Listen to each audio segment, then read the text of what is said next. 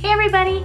I just wanted to make a quick video to share a really awesome guided journal that I have and it is the and it is the Experience Passport. 45 ways to broaden your horizons. What is the Experience Passport? Well, I will tell you. It has, well, 45 ways, uh, 45 prompted entries, basically. So, for instance, um, turn off your cell phone for one week. What did you miss? What did you gain?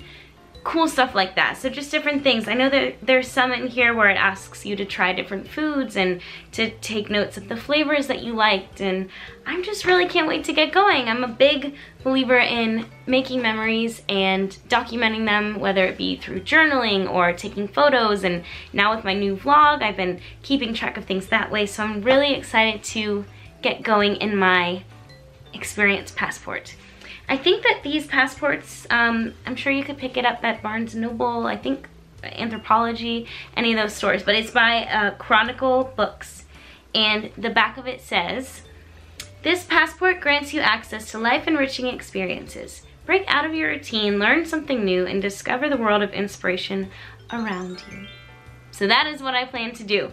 So I'll be checking back in uh, to share how my experiences are going and hopefully by the end of this next birthday year, this next year, I'll have completed my book. And one of the best parts of all, in the back, some stickers. It says, approved and arrival and all kinds of cool stuff.